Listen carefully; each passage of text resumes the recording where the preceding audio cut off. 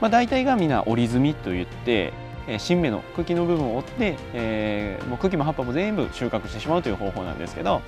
下から上にかけて全部順番に積んでいくんですね。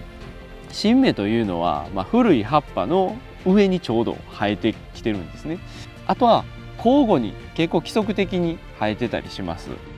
まあこの本当に新芽の葉っぱはすごくふわふわで古い葉っぱはすごく硬い。で何より古い葉っぱと新芽ではもう色がもう全然違うんですね。なので非常に分かりやすいかなと思います。人差し指と親指でつまんでやってもうポキッと折る感じ。そんなに力を入れなくてもポキンと。ポキンと折れる。でまあこういうふうに根元の部分からもポキッと折ってしまうで蝶が蝶がはまあ古い葉っぱの上からというか、まあ、一番上の部分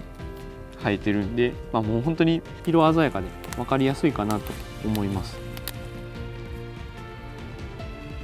でまあ下の方が邪魔になってくるとこういうふうに足で挟んだりして